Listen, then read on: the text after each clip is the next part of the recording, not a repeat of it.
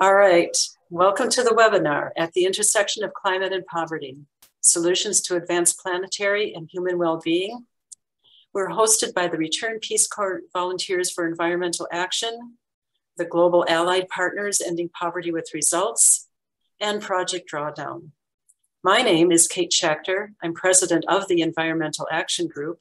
I served as in Peace Corps in Ghana from 2004 to 2007 and in Georgia from 2016 to 2017.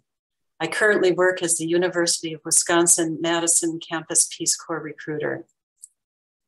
So, our mission in the Environmental Action Group is to engage the Peace Corps community of returned volunteers, families, friends, and allies to take action on critical issues of climate change and environmental issues.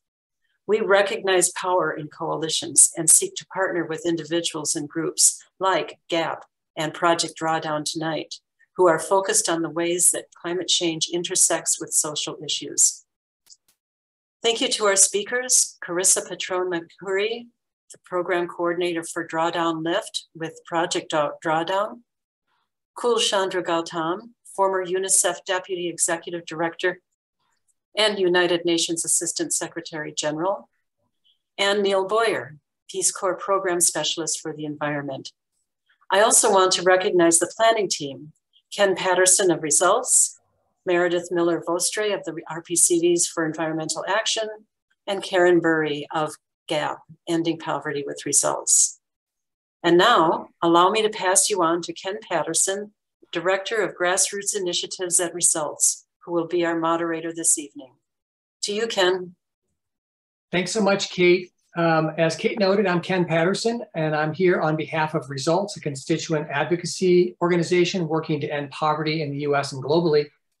I'm also here representing the National Peace Corps Association affiliate group, the Global Allies Program, Partners Ending Poverty with Results.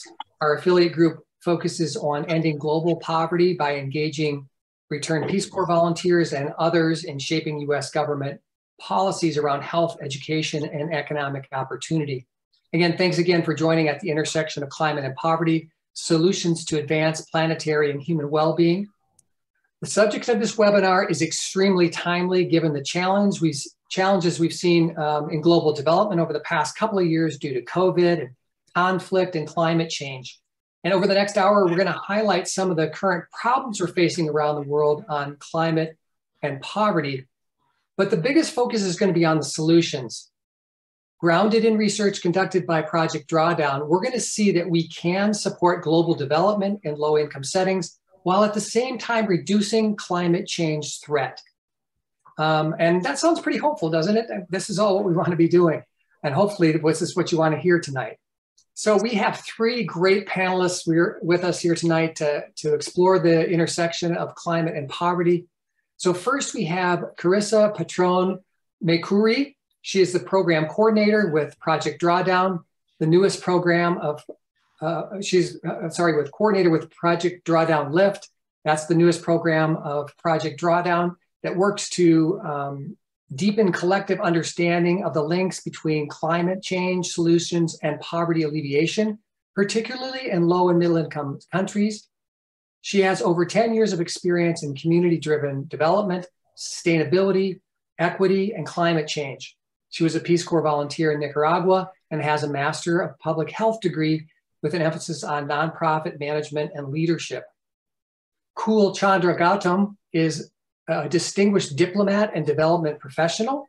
He's a former Assistant Secretary General of the United Nations and Deputy Executive Director of UNICEF and has managerial and leadership career experience with the United Nations spanning over three decades.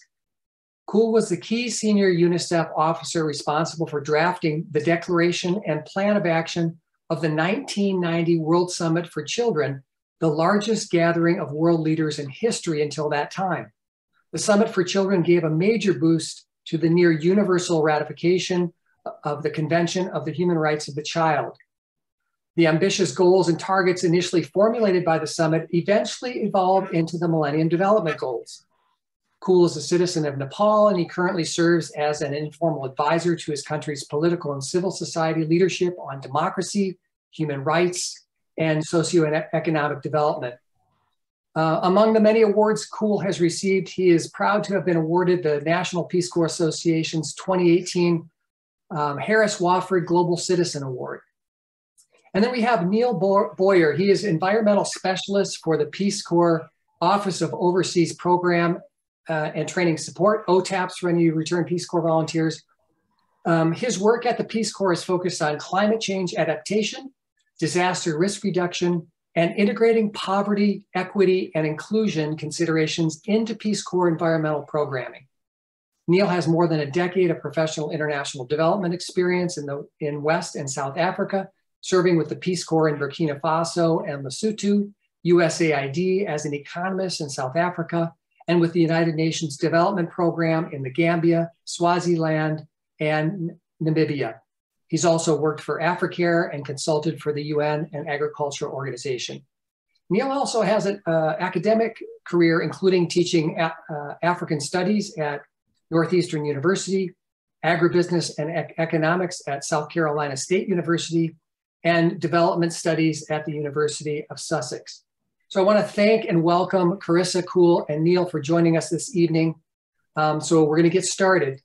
Um, first, Poverty and inequity and climate change are some of the most pressing issues of our time. And it, it begs the question can we address climate change and improve the well being of people experiencing extreme poverty at the same time? The answer, as we're going to see tonight, is, is yes. But it's particularly urgent to implement complementary approaches now because low and middle income countries are historically the lowest greenhouse gas emitters Yes, they're, yet they're disproportionately impacted by climate change, poverty, and food insecurity, among other inequities.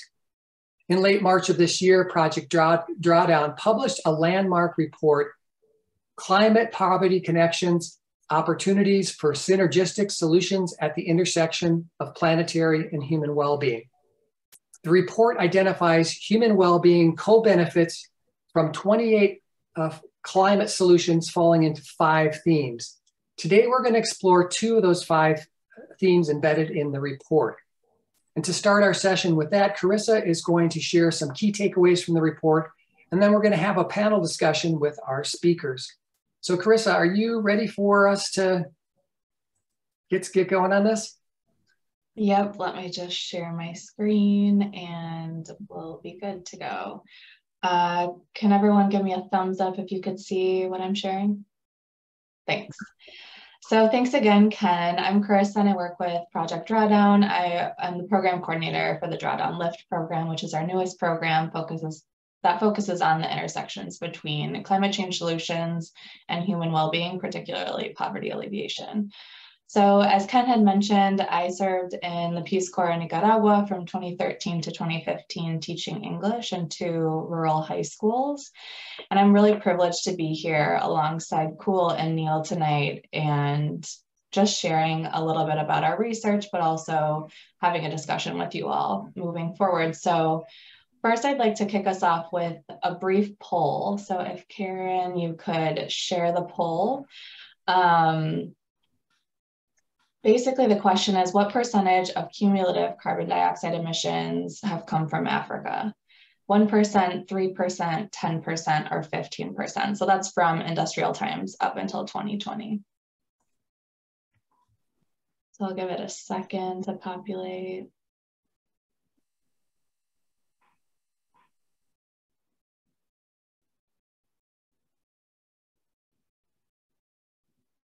So it seems to be about 50 50, tied with 1% and 3%. So around half of you were correct, with it being 3% of cumulative carbon dioxide emissions. So in comparison, the US has contributed around 29% of cumulative CO2 emissions, and that's something that we'll dive into a little bit deeper. Just when it comes to the vast inequities of not only con contributions to climate change, but also um, the disproportionate impacts as well.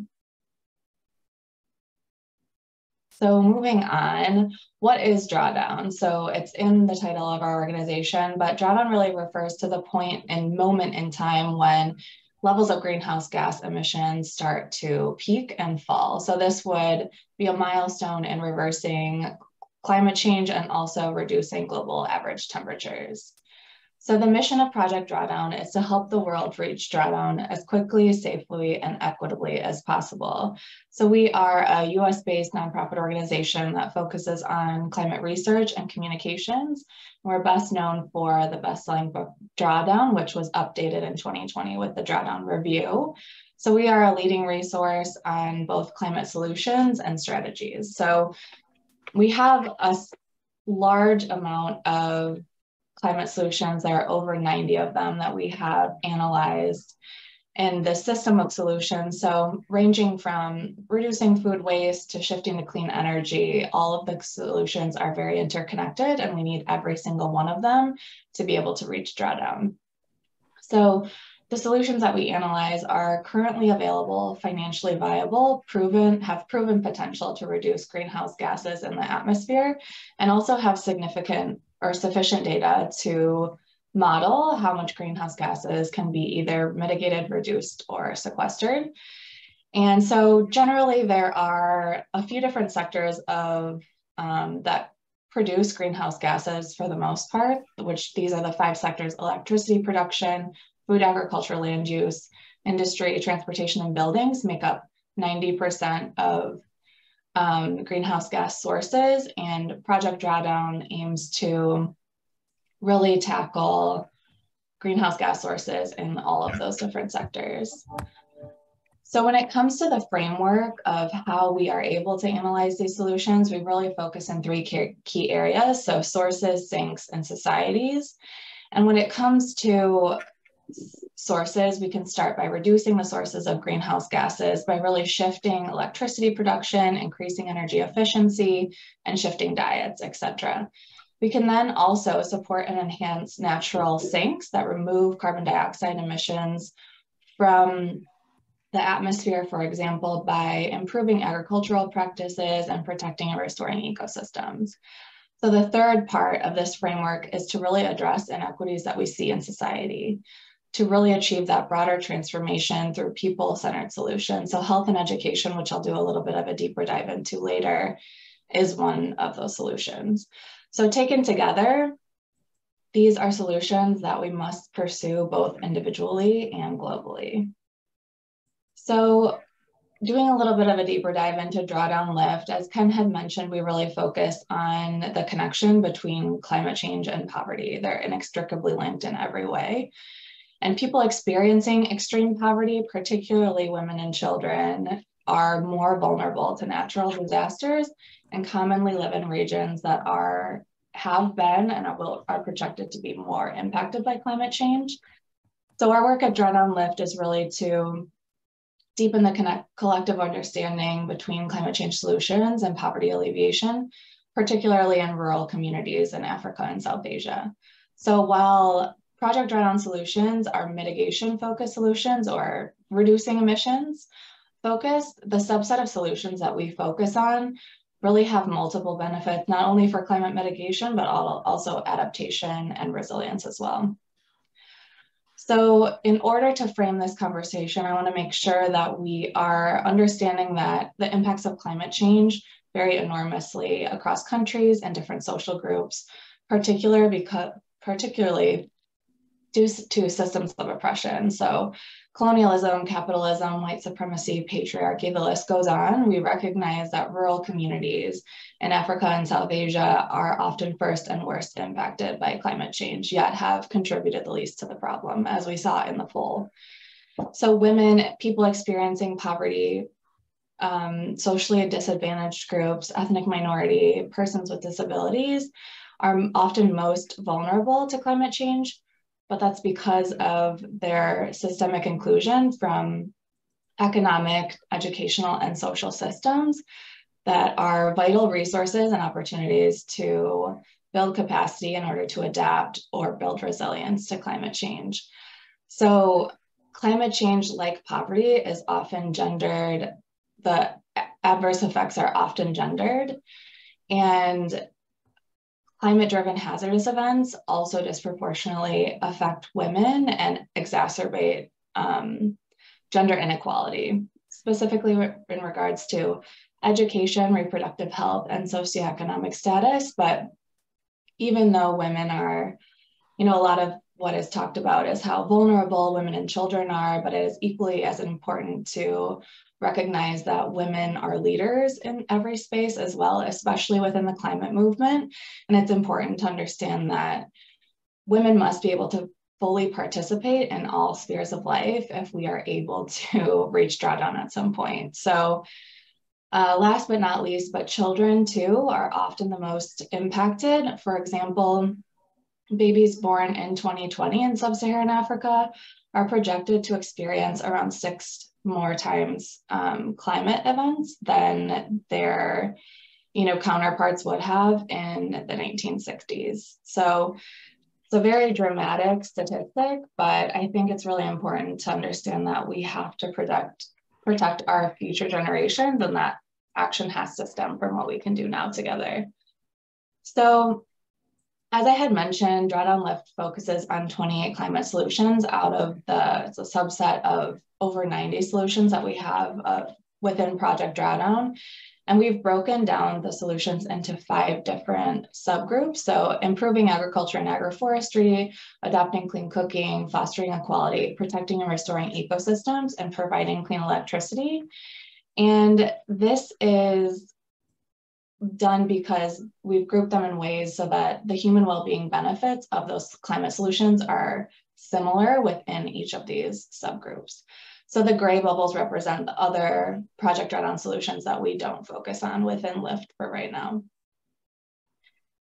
So in order to assess the evidence of the five solution groups on the left-hand side, we looked at 12 different dimensions of human well-being. So it was really adapted from the donut economic framework, which really focuses on ensuring that people will are able to thrive while preserving the health of the envir environment as well. So we use the donut economics framework for three main reasons. One being its explicit inclusion of gender equality, two is adaptability and flexibility, and then three, as a framework for us to be able to analyze the co-benefits of climate solutions in a scientifically consistent manner. So we reviewed over 450 peer-reviewed articles that we have compiled in the Climate Poverty Report, which we can send you a link to shortly. But on the left-hand side of this diagram, it shows all the different solutions groups and then how many greenhouse gas emissions could be reduced or sequestered within on a global level. And today we'll be focusing on the improving agriculture and agroforestry climate solution group and fostering equality as well. So you can see from left to right, there are direct benefits in blue and then indirect benefits in gray.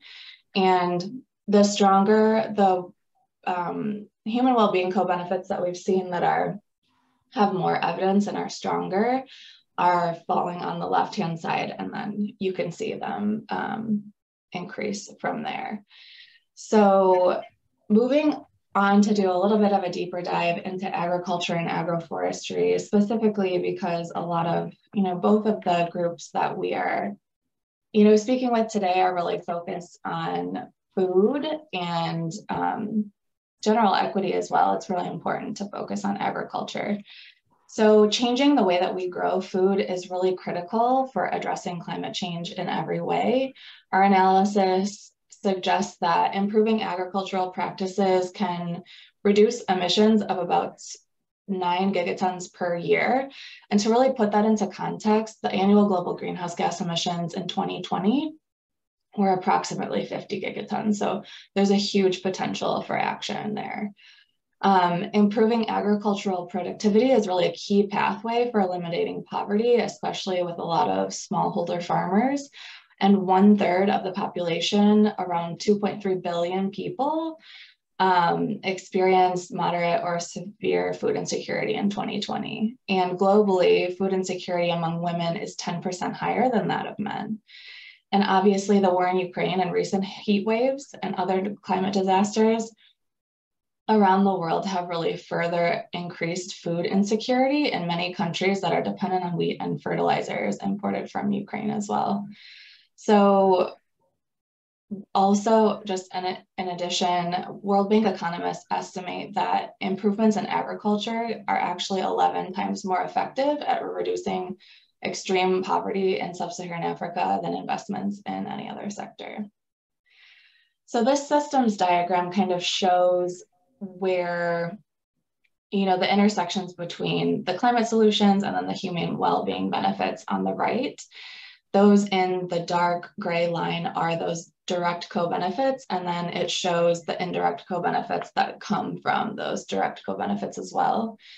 And, um, you know, it shows how some co-benefits can um, enable other co-benefits, and then those ripple effects too um, also come from those indirect co-benefits as well.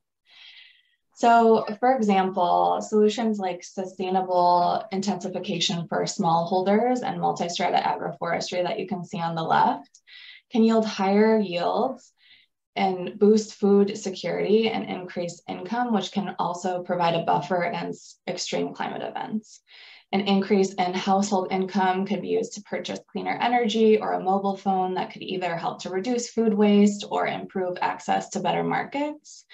And then food insecurity and increase in income can then contribute to better health and gender equality. And then maybe provide some improvements in social equity and peace and justice, which has really long term benefits for a country. Um, even though land tenure is in the kind of ecosystem solution group, I think it's really important to highlight here that 85% of women in the world um, or in low and middle income countries lack the right to own land, but they make up around 40% of agricultural workers um, in low and middle income countries. So, you know, women's and indigenous people secure land tenure are super important and able to, you know, improve food security, have better practices when it comes to water, reduce gender-based violence, and the list goes on. So there's evidence that you know women's secure land tenure can lead to all of these points shown, including income changes and also reduced gender-based violence, increased women women's agency, and higher adoption of conservation practices. So shifting gears a little bit to Fostering Equality, the solution group that focuses on voluntary rights based family planning and universal, universal high quality education. Um, in sub Saharan Africa, around 30% or almost 100 million children and adolescents do not attend school today, primary or secondary school. And in Asia, that's around 20%. So it's crucial. It's a, hu- a basic human right that can be really transformational, um, not only for climate, but for leadership and, um, you know, boosting human well-being as well. So to be clear, family planning and ensuring everyone's con- you know contraceptive needs are met in a way that centers bodily autonomy is not in of itself a climate mitigation solution, but rather it's an outcome of family planning and people's right to choose when, whether, and with whom to have a child could result in slower population growth, which is a climate solution that is embedded in our modeling. Um, so one last point to mention about uh, education specifically is that three quarters of children who never enter primary school are girls from rural and under-resourced communities. So again, it's really important to just recognize the deep inequities within our systems to be able to come together and really act on climate in a way that is holistic and inclusive.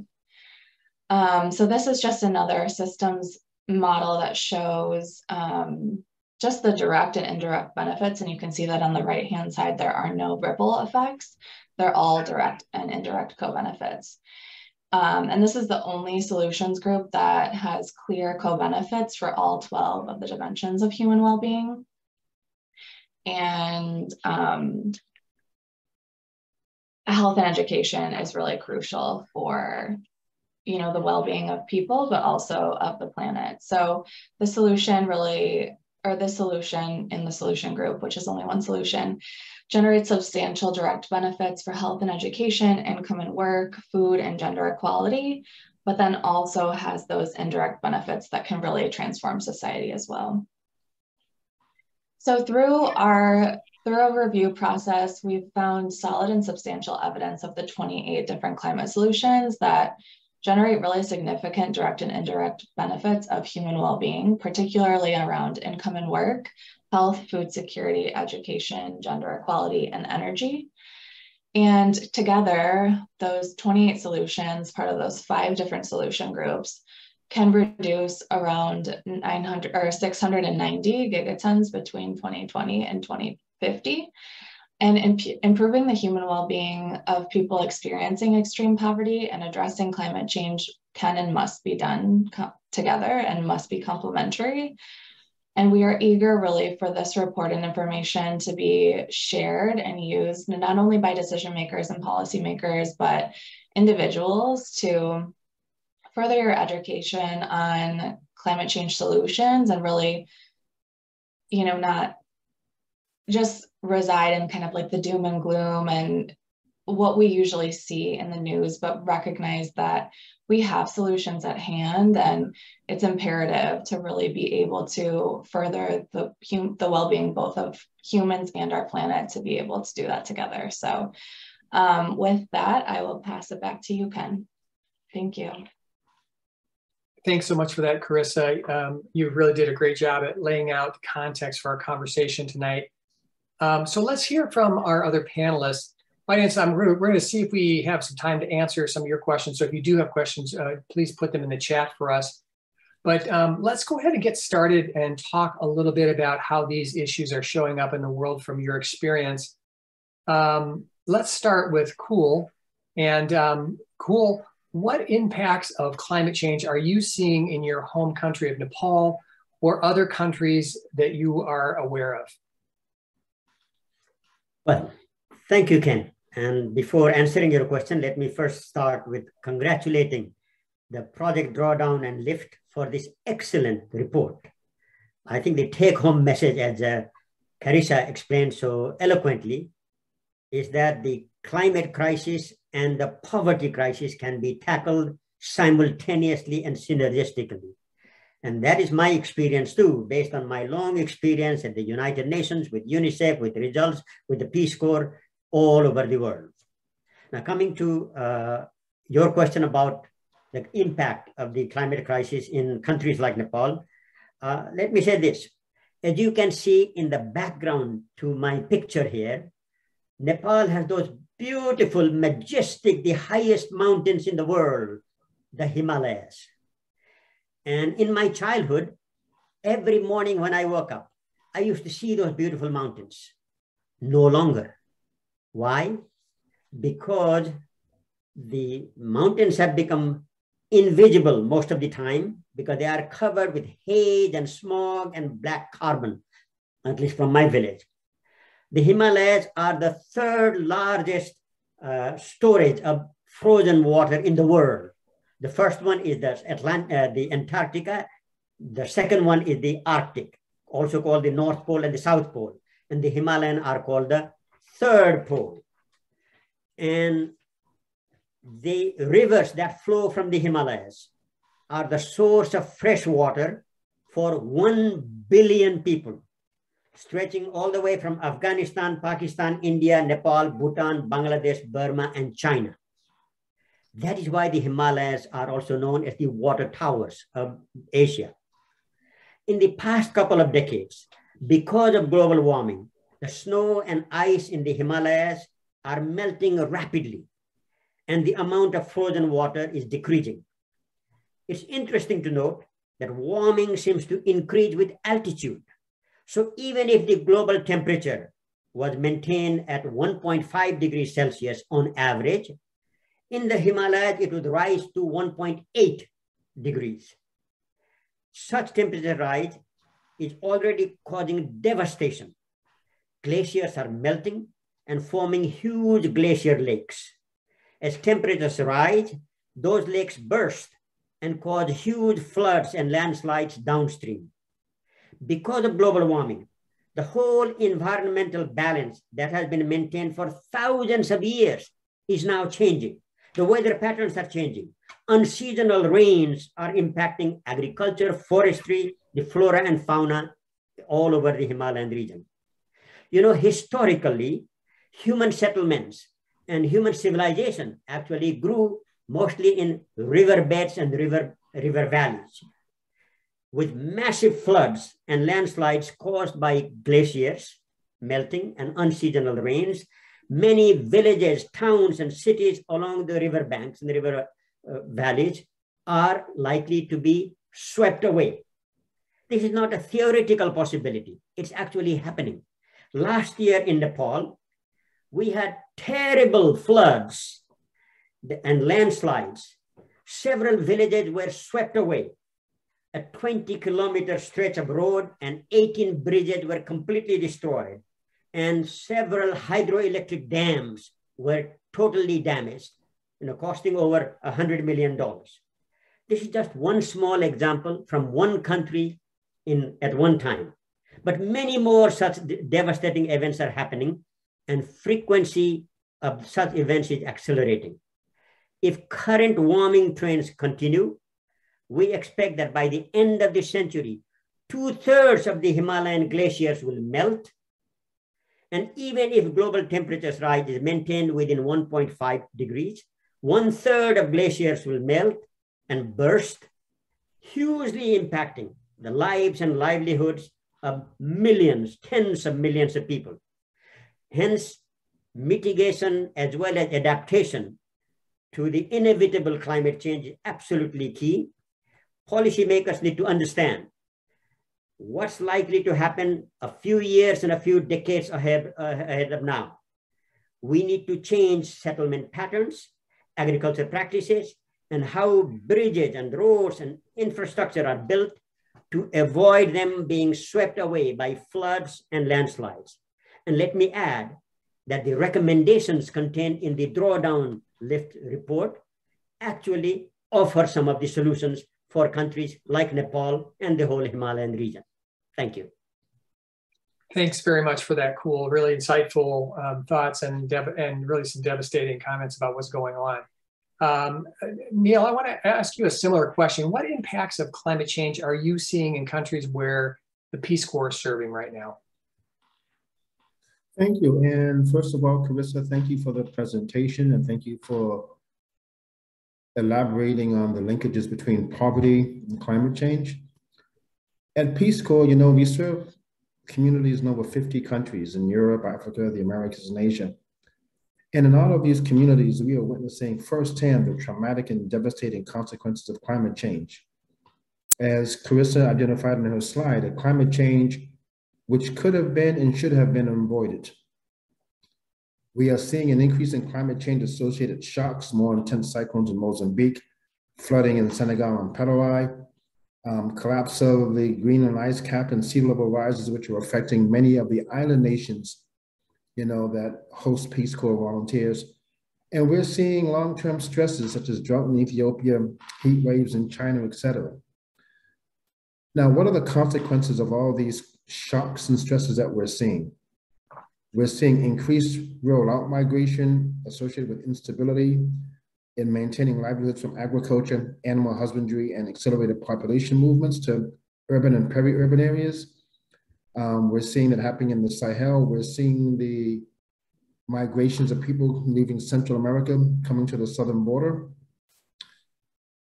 And associated with those population movements and as people adapt, we're also seeing, unfortunately, rising gender inequality. More girls unable to attend school or complete school, increases in sexual violence and exploitation. And we're seeing climate change act as an additional trigger for resource-based conflict, intensifying hardships for households and communities across the globe, and, you know, from a Peace Corps perspective, it places further limitations on where we can safely post our volunteers. So when people talk about climate change as in 2030 to 2035, at Peace Corps, we're seeing the effects um, in the communities that we serve throughout the world. Thanks for that, Neil. Um, I appreciate that uh, uh, thought. And And um, speaking of uh, gender equity or gender equality, which you you touched on there, Neil, um, Kul. Could you say a little bit about why why is it critical, um, you know, gender equity, gender equality? Why is that critical to environmental and climate solutions? And how does fostering equity address multiple challenges, including things like food and nutrition, as well as climate?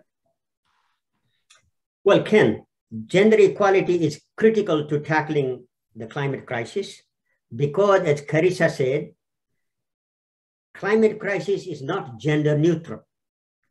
Girls and women experience the greatest impact of the climate change because it exacerbates the already existing gender inequality and it poses unique threats to their livelihoods, health, and safety of women and girls. Across the world, but particularly in low and middle income countries, women bear disproportionate responsibility to secure food, water, and fuel. And women need to work harder to secure income and resources for their families, especially during periods of natural disasters and the climate crisis.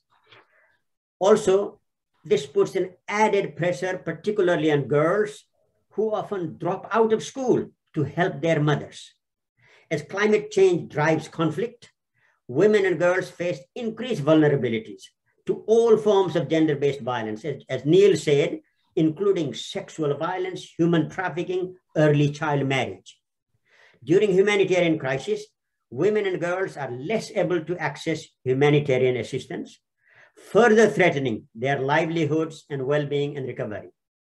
And research indicates that climate-induced disasters greatly endanger women's health by limiting their access to healthcare services that leads to increased risk of maternal and child health. And the spread of waterborne diseases also happen. On the other hand, on the positive side, women are powerful agents of change in protecting the environment and promoting human development. As many studies have shown, investment in girls' education and health is the best way to combat intergenerational transmission of poverty.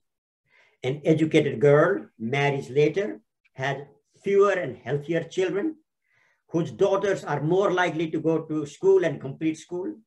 They get better paying jobs, exercise leadership role in their community, and thereby contributing to the ending of poverty, the cycle of poverty. So empowering women creates a virtuous cycle of um, protecting the environment as well as tackling the issues of poverty, illiteracy, malnutrition, uh, as women are amazing agents of change. Thank you. Thanks for that. Kul. That's that's great. Um, and again, it, it's a, a, critical part of the report that Carissa talked about earlier. Girls' education. We'll get a chance to take an action on that later tonight.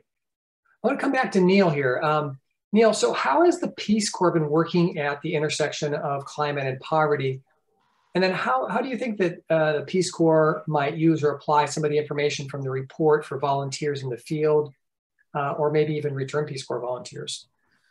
Thank you. I mean, um, for Peace Corps, we have six thematic areas. I mean, from since many of you um, either have worked with Peace Corps or were volunteers, as you know, we have education, we have agriculture, we have environment, we have community and economic development, health and youth development. And these areas also correspond to goals one to five of the SDGs, you know, the Sustainable Development Goals, also called the Global Goals. You know, the first of the SDGs, SDG 1, is you know, entitled End Poverty, and it's also heavily influenced by the other SDGs, SDG 2, End Hunger, SDG 3, health, SDG 4, education, SDG 5, gender equality. And all of these interventions together aim to reduce multidimensional poverty, not just income poverty, especially in those marginalized and vulnerable communities most at risk from climate change. As human beings, all of our actions are dependent on the living environment. That means the air that we breathe, the water that we drink, the food that we eat, the ground where we walk. This living environment is under threat from environmental degradation and climate change. And just as an agency, we are committed to the implementation of SDG 13, which is called Take Urgent Action to Combat Climate Change and Its Impacts. For Peace Corps, what we've just developed is a performance goal on climate change within our fiscal year 22-26 strategic plan. And that's called Contribute to Host Country Efforts to Combat Climate Change and Its Impacts. And it basically means that we're working with host countries to help them implement their national adaptation plans. You know, because even if we attain the 1.5, as Kul has said, we still have these challenges and these shocks and these stresses that we're currently experiencing. So how do communities adapt? How do communities survive? And more importantly, how do communities become resilient? Now, when you talk about volunteers, one of the things that, you know, we train volunteers now is a tool called Participatory Action for Community, excuse me, Participatory Analysis for Community Action, or PACA. And we try to look at development through a human lens. So in this case, we're looking at climate change through a human lens, through a human approach and through a gender lens. So we work with our national colleagues and host communities on a variety of climate change adaptation mechanisms, climate smart agriculture, inclusive disaster risk reduction and early warning systems. Our challenge is to integrate climate change into all our programmatic sectors. The intersectionality of these interventions promote multiple benefits. For example, in Panama um, and in Zambia, we are working on forest conservation. We're looking at energy cons consumption and we're looking at health. In the case of Panama, we're linking adoption of approved cook stoves with reducing the risk of smoke-induced respiratory illnesses, which disproportionately affects women and girls. So we can look at promoting environmental action, you know, um, improving the use of cook stoves, which reduces fuel consumption, or look at alternative energy sources like you know biogas digesters. And not only does it have the impact of reducing forest deforestation, but it also has positive health outcomes as well. Thanks for that, Neil. I appreciate that. Um, let's let's take a question from the audience here. Um, um, so uh, what social norms, behaviors, et cetera, can help or hurt climate change? Um, for example, you know, uh, it, yeah, just let's leave it at that. What social norms or behaviors can help or hurt climate change? And then, and this is for anybody here in the panel. You know, when we talk about social norms, I mean, at the end of the day, we're talking about behaviors and behaviors are learned and behaviors can be changed. And so, you know, one of the things, for example, you know, today we just um, put out a report, you know, on solid waste management, where as opposed to, you know, identifying, you know, why there were these problems, the first issue is what are the barriers to changing these problems? Because you go into the assumption that people, they look at their communities and they see some of these challenges. But what are those factors which are preventing people from addressing these challenges? You know, I think um, Carissa talked about land tenure is one. If you're saying to someone, you should plant fruit trees because fruit trees, you know, will improve household nutrition. And you're saying to a woman, well, you have all this land, why don't you, you know, plant fruit trees? But then who has ownership of the fruit that those trees produce? And how is the income from the sale of the fruit coming from those trees going to help household, you know, food security, improve education, improve household health? And that's the ownership issue and that's the land tenure issue. And that changes with behavior.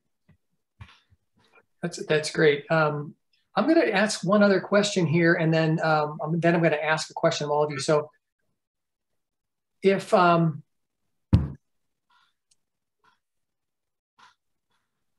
you know, in terms of like the behavior change piece, how do we go about, you know, engaging communities and the, those who are directly affected by these issues in the solutions themselves? And have you seen any good examples of that being done where folks are, you know, we're engaging the people in charge of their own development and, and their own lives in, in uh, in these kinds of solutions. Um, anybody on the panel want to talk about that? Can I share? Yeah. Can I share a, an example, particularly of when women are empowered? What dramatic changes can happen? Let me give you an example from Bangladesh.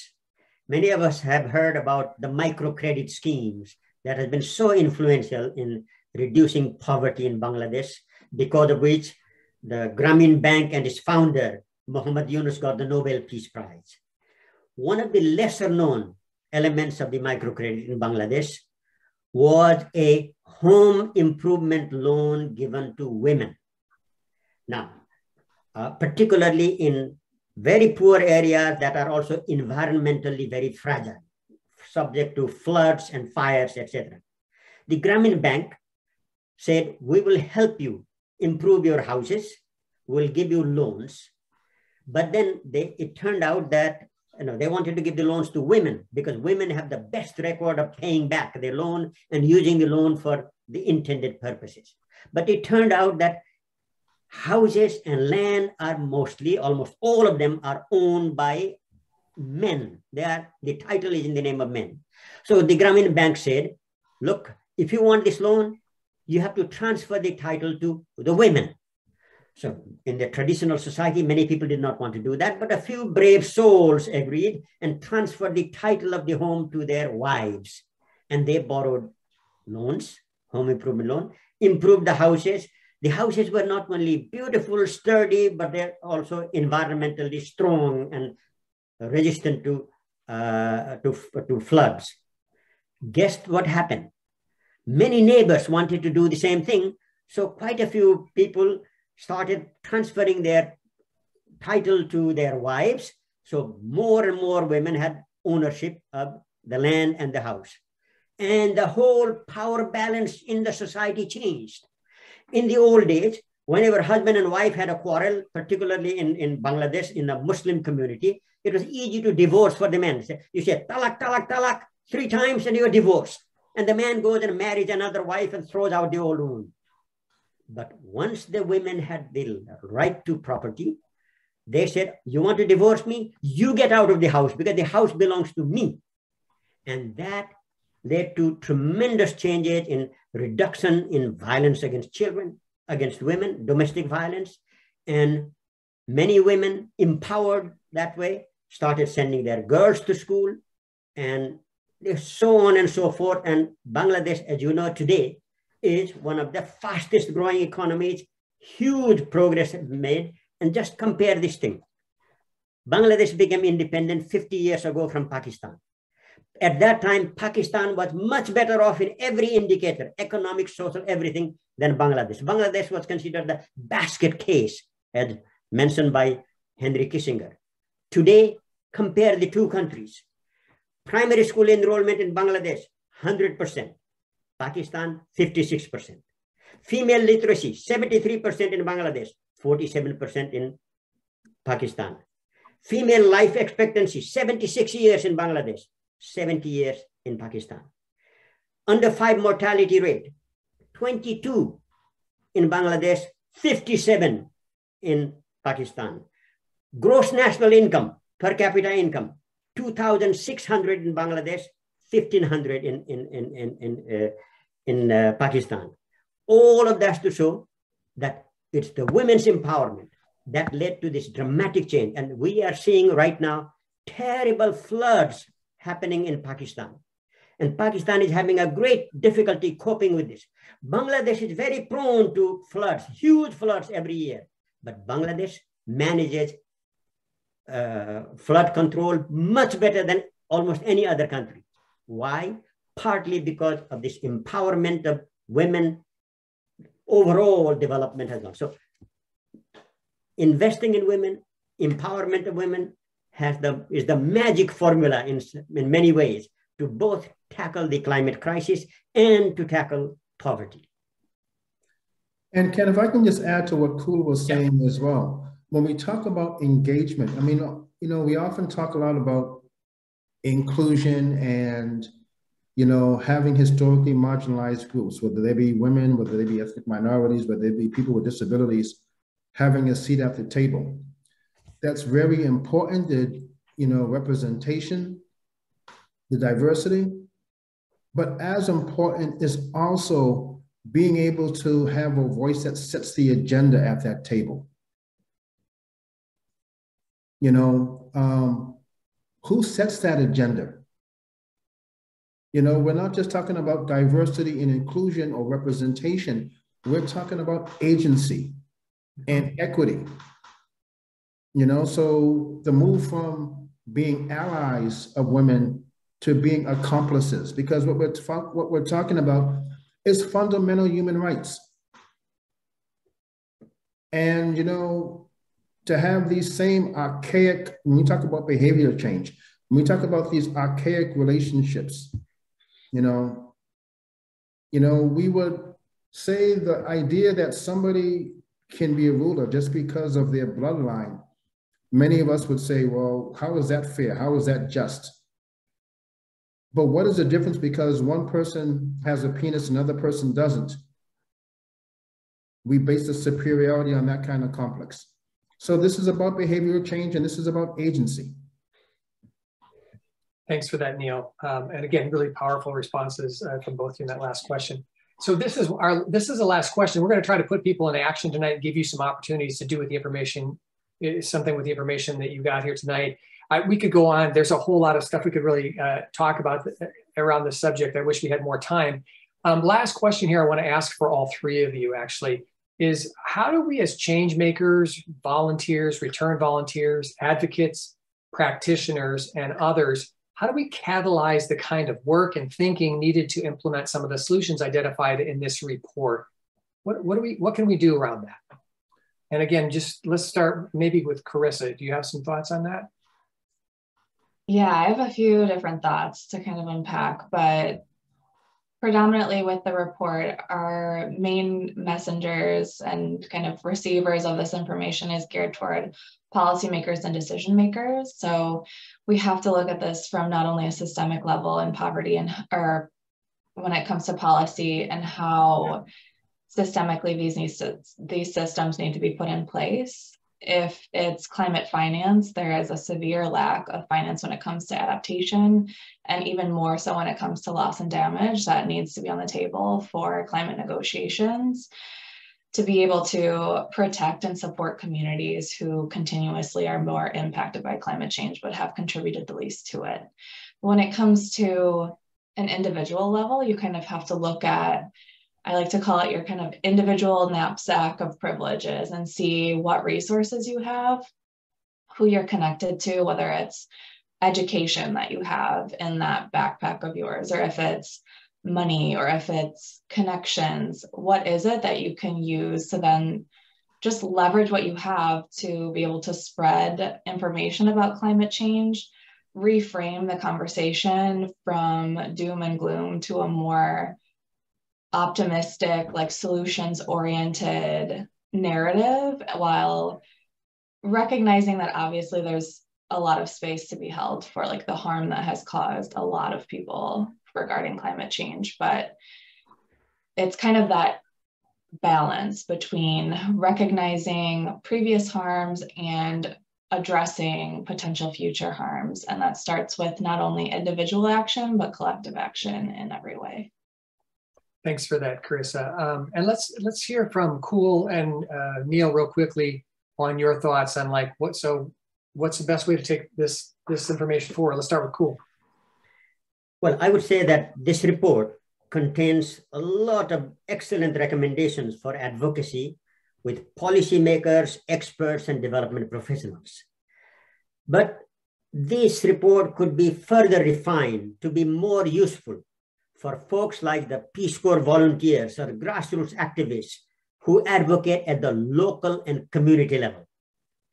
You know, when we say something like the world is only spending $632 billion a year to tackle climate crisis, but it really needs $4.3 trillion. Figures like that turn people off. Most of us cannot deal with billions and trillions. We need to find ways to communicate in a way that ordinary people can relate and understand. We need some examples that says, with so little investment, so much can be achieved. That with the present budget, we can do so much more if it were reallocated in the following way. We used to do that at UNICEF, where you know Jim Grant, who was an amazing and charismatic leader, would go to world leaders and say, look, you know, for you, your political priorities are on prestige projects like building an airport or a highway or a football stadium, costing billions, millions of dollars. But for pennies, you can vaccinate children. You can you know, provide toilets to, you know, uh, uh separate toilets for girls for a $100. You can do, you know, instead of buying a, a helicopter for the governor, the same thing can provide school lunches for all the kids in your, in your, in your province. So examples like that, ordinary people can relate to. I think if we did that, we would be able to convince many more people to become advocates for us. And let me say one final thing. This report is rightly focused on South Asia and Sub-Saharan Africa because those are the you know, areas with the biggest uh, climate problems, although they contribute very little to global warming. But you know, if Americans are going to advocate for these policies, it's important that we should also be able to give some good practices from the US. And I would like to see that maybe in the next edition, Drawdown Lift might prepare a, a counterpart to this report that is applicable to the US. I live here in California right now, and I'm shocked. California is supposed to be among the most environment friendly states in the US, but lousy public transport. Why is there no bullet train from San Francisco to Los Angeles? Why are public uh, buses so hopeless? Why do in I, I'm in Orange County here, and everybody drives their children to school. Hundreds of people every day, thousands of people. Why don't we have a few dozen school buses as all civilized countries in Europe and other, other places have?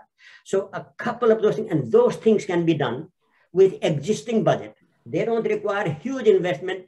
Instead of building, spending billions on highways and maintaining them, why not build fast trains, energy efficient transportation? And I think we need to do some advocacy of that type here in the US so we can be more powerful when we advocate elsewhere. Because ultimately, com uh, combating climate crisis is going to require global solidarity.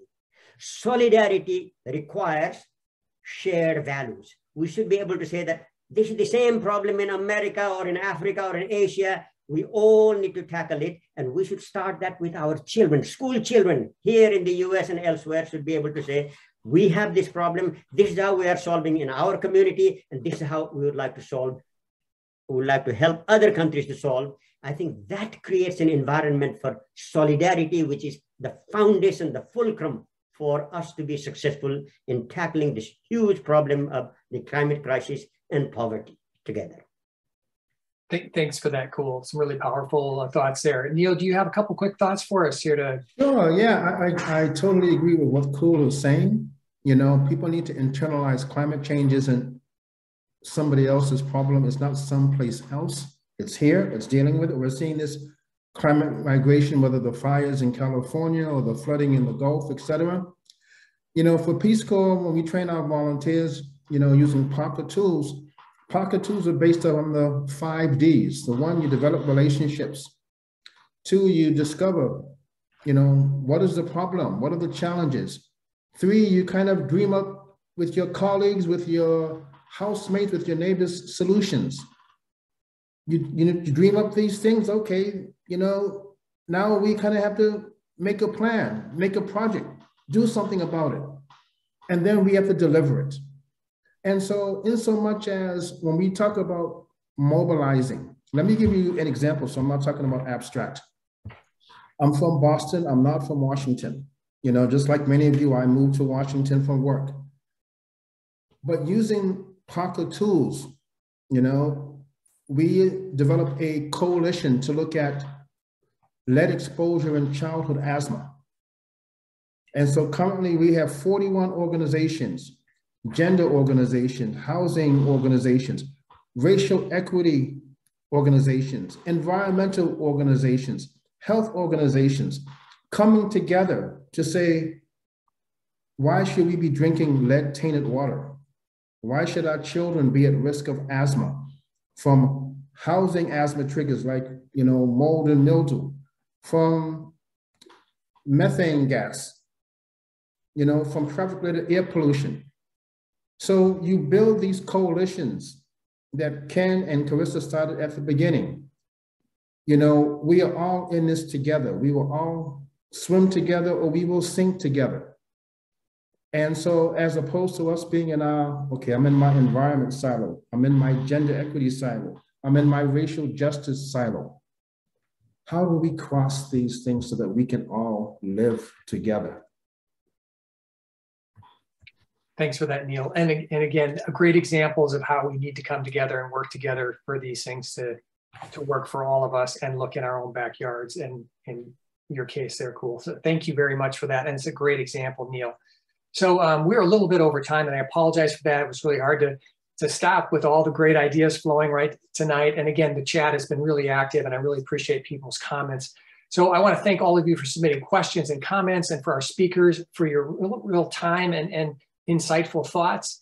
Um, we have a lot to think about, including how do we act, how do we take this and internalize it and put it into practice for ourselves tonight, which is a, a key thing that we want to be able to take away. Um, so we want to get you started tonight by um, on that part of things on taking action, a couple concrete, concrete things you can do tonight, today and tomorrow, and then um, ways that you can get involved in sort of maybe a more ongoing way in either uh, poverty or climate work.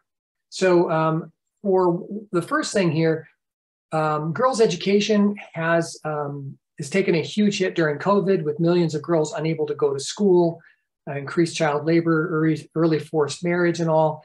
And we heard tonight about how important fostering fostering equity and quality um, are in the solutions to to to climate as well. And so, um, Results is working on a, a global education bill. It's the READ Act reauthorization bill. Um, we can, you can take um, action on that tonight by asking your, um, and thanks somebody else put the link in there, tonight on this by asking your senators to co-sponsor this bill.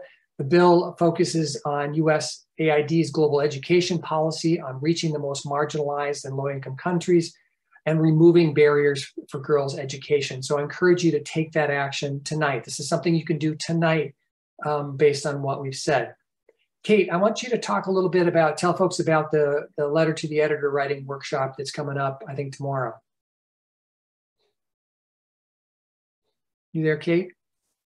I'm here. Thank you very much. Um, Dylan Henson is a member of our RPCVs for Environmental Action. He has a monthly LTE action team, um, second Tuesdays of every month.